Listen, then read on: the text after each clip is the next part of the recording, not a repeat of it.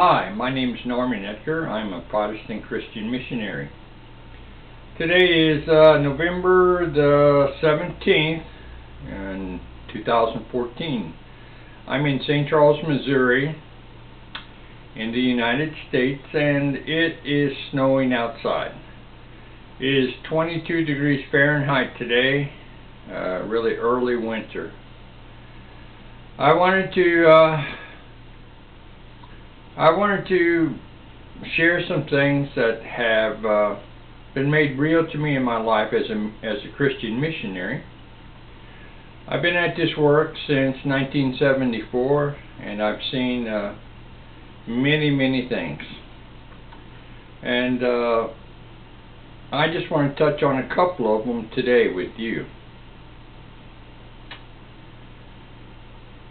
I guess the the surprising truth about religion, about God, and about Jesus is that how many people are clueless about how to become a Christian.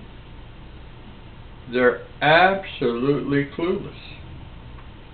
I cannot tell you how many people on in the United States and Asia that I've talked with as a missionary asking this simple question what is salvation? What does atonement mean? What's repentance?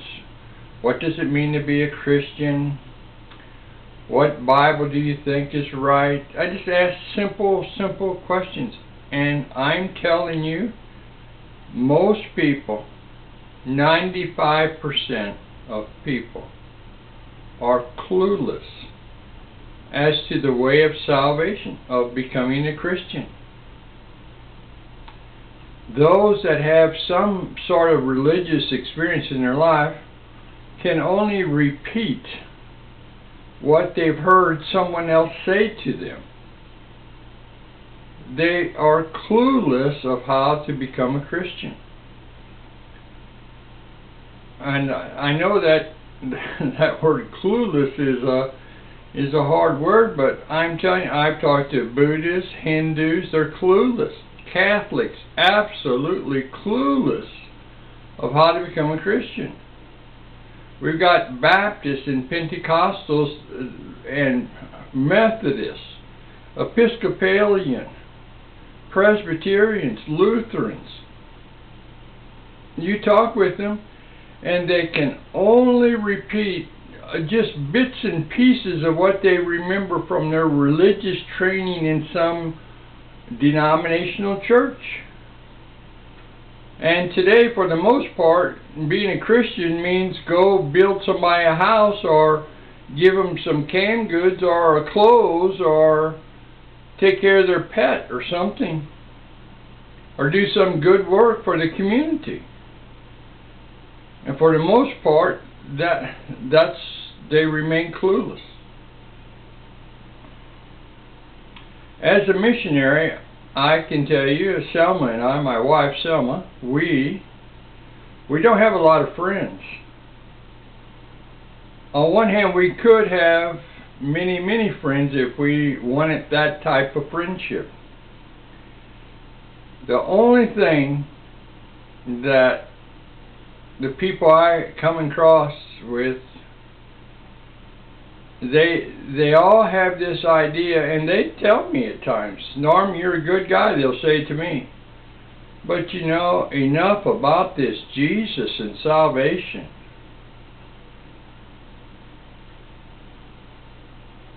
It's really sad. And it's really discouraging at times too I can tell you. I can't tell you how many times I'd like to walk away from this. I've been on Facebook for several years and Facebook you can see what people are thinking about. And for the most part, the people uh, that that I see on Facebook, including my friends that I, I have acquaintances with, they only present one side of their life and they think that that's cool, I guess. What they're interested in, what they're doing, uh, drinking, partying, uh, whatever it is that they like, they put on Facebook. And I fail to read the way of salvation. I have multitudes of people daily that want to friend me in Facebook. And I look at their uh, bios or biographies on Facebook, and 99% of them don't have a thing about nothing on there. I'm clueless as to who they are and what they believe. I don't friend somebody just to be friending so I can have a lot of friends on my Facebook page. It's the same way with YouTube. Becoming a Christian is not something that you or I can do. We can't do it. There's a part that has to be there that most people reject, and that is God's grace. Grace comes to us in many mysterious different ways. Grace is God's power and strength and love that comes to us.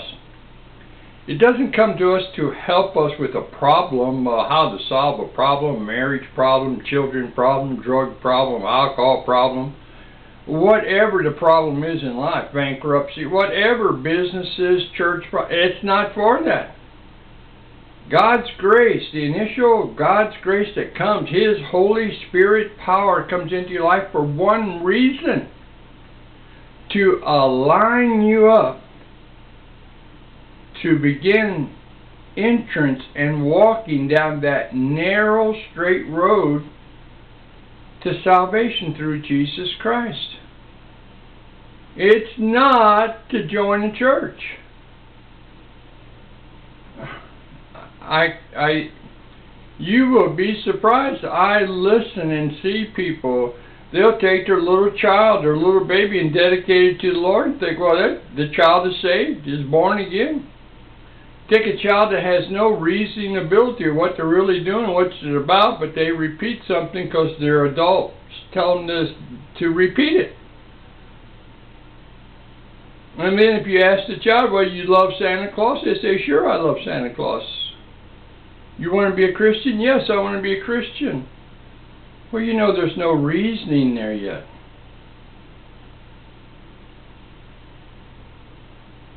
God has a plan for everyone. And there's only one way of salvation, and that's the gospel message. Christianity has become something totally different. Again, I cannot tell you how many times we've been in the Christian Protestant churches, and it is a farce.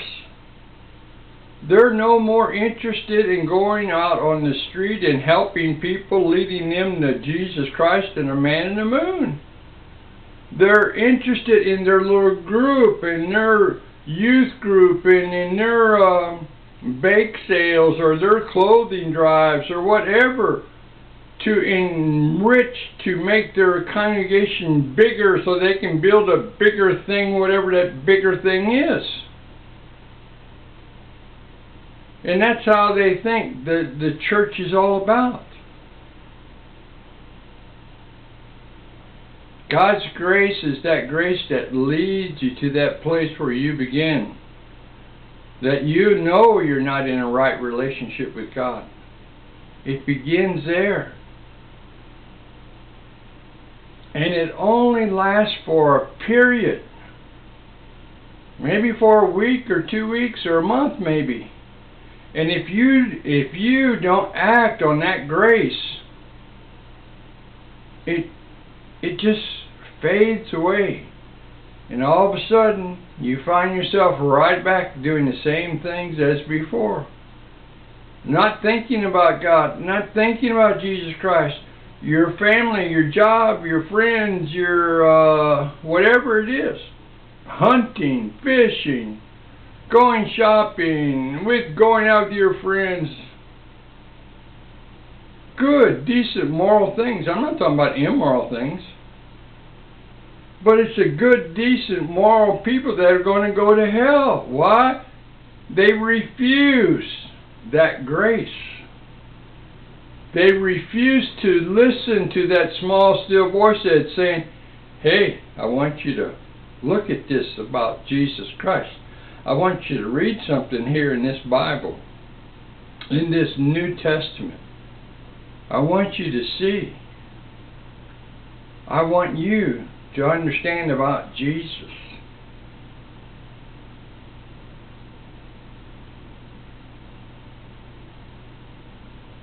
I know a fellow there in Reynosa, Mexico. I took him to a church one time,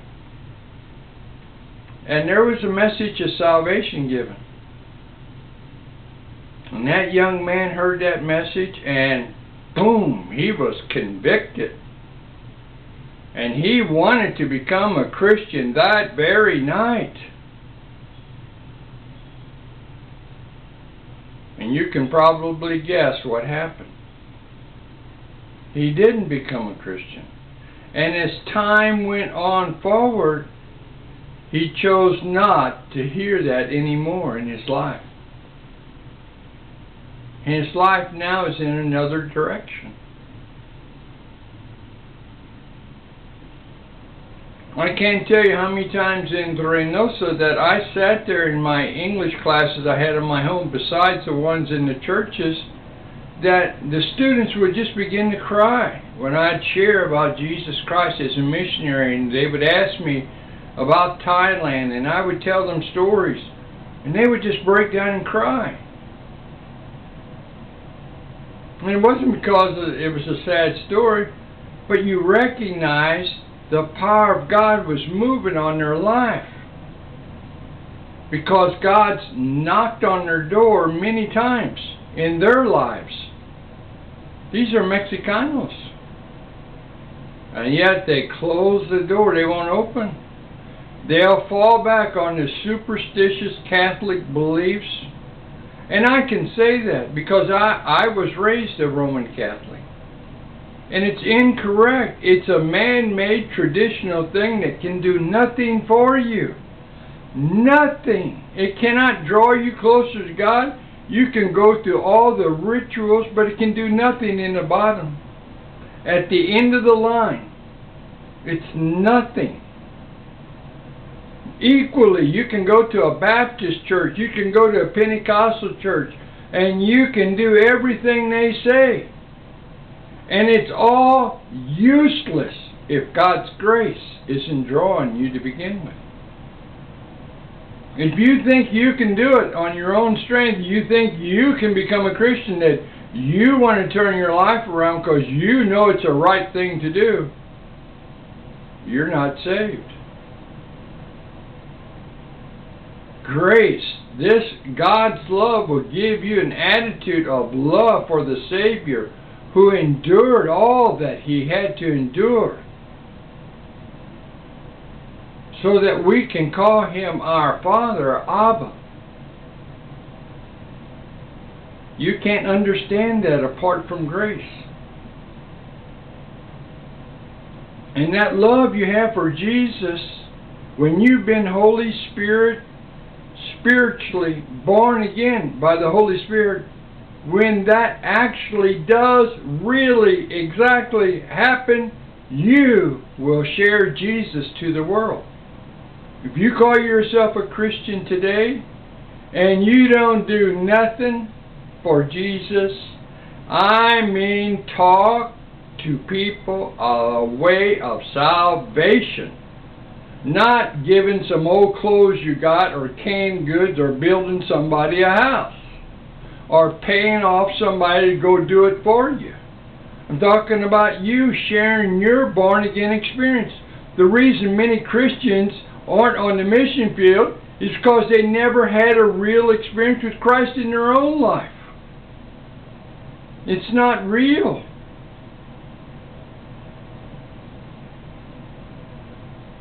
Only God's grace can do that brings you into the entrance to the cross. Understanding the cross of suffering that Christ did for us, for only one reason to liberate us, to liberate us. Not to once again be in bondage to traditions of religions in the Protestant way or the Catholic way or the Buddhist way or the Hindu way or the Hmong animist way, all of it is meaningless. Not, it's nothing. Only one thing is correct. And that's loving Jesus according to the Protestant Bible, New Testament writings of Christ, the apostle and evangelist. If you don't agree with that, you're not saved. You're not a Christian. You don't have a choice to think, well, I have a right to believe anything I want. No. You don't have a right. You're a slave to Christ, the New Testament says. And you can only be a slave if you've been born again by the Holy Spirit of God. If you want to lead, lead your own life and do your own thing the way you think it's right in your own eyes, you're not saved.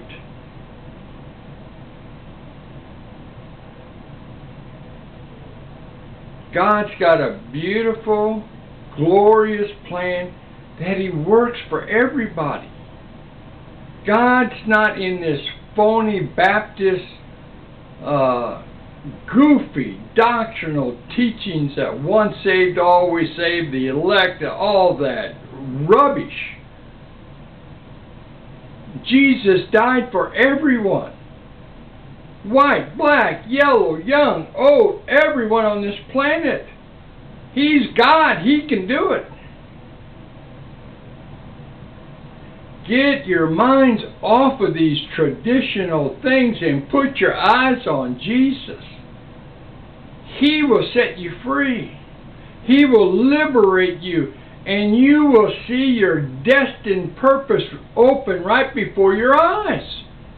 But it's by you, it's by you entering into that relationship with Christ by grace, by the Father opening up your eyes and letting you see the straight and narrow way. And if you are born again truly, you'll run down that narrow way for Jesus. if you're slitting and sliding and can't get going and want to do this and uh, then finding this and can't do that and can't do this, maybe later, maybe next year, maybe I'll go on a mission trip. Some I'll do. No, that's you and your own strength.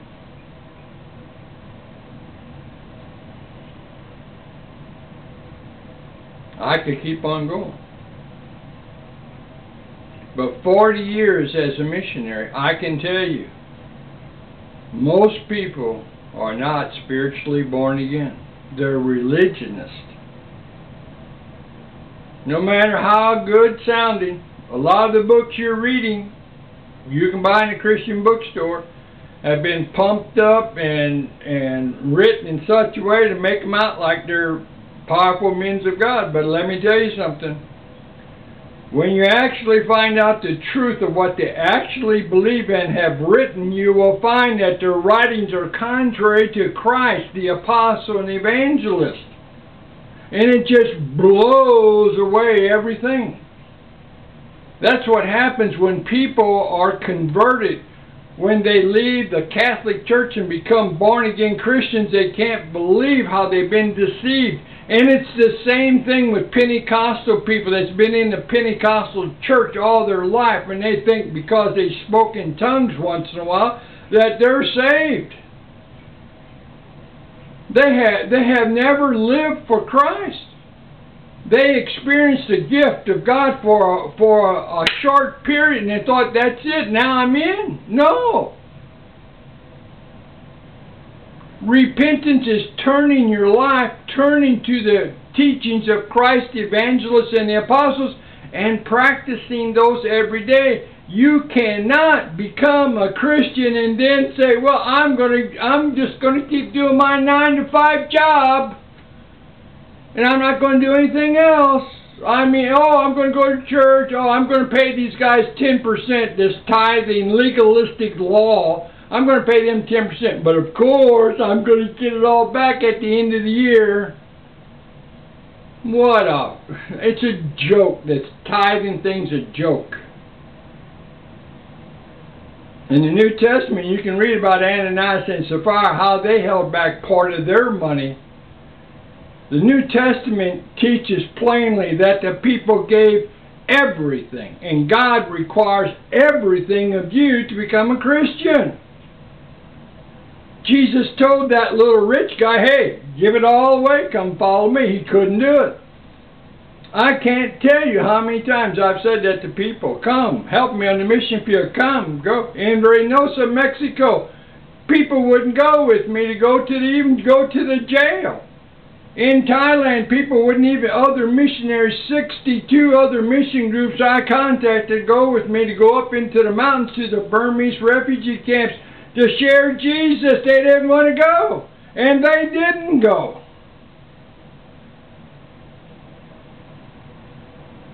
Being a Christian is real. It's not some some idea or something.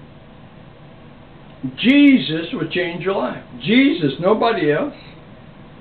And you have to get on your knees. You have to yield to Him and Him alone. Not to some man, not some priest or pastor, or whoever. You get saved, it's going to be between you and Jesus. I got to get off here. This is Missionary Norman. Keep the faith. And I'm going to be doing some more YouTubing. Amen? Amen.